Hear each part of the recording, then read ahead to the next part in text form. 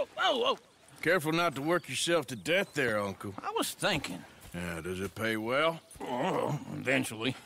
So, while the rest of us are busy stealing, killing, lying, fighting to try to survive, you get to think all day. Well, it's a strange world we live in, Arthur Morgan. Do you want to head into town? See if we can find anything out? Sure, I got some errands to run. Great.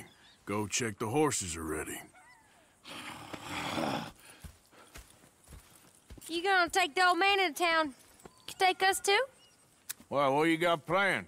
Nothing. We'll find something for y'all to do. We always do. We're bored out of our minds. Been cooped up here for two weeks now. Karen's about ready to murder Grimshaw. well, can Miss Grimshaw spare you?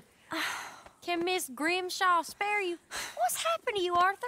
Three young, healthy women want you to take them a robbing. You're worried about house chores. Let's go. Fair enough. You got me. Come on then. I can't believe we're going to see civilization. Feels like weeks since we did. Yeah, Valentine. Very embodiment of civilization. you ladies are gonna love it. Okay then. Let's go. All right.